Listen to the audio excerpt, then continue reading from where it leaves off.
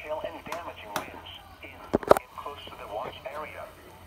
While severe weather may not be imminent, persons should remain alert for rapidly changing weather conditions and listen for later statements and possible warnings.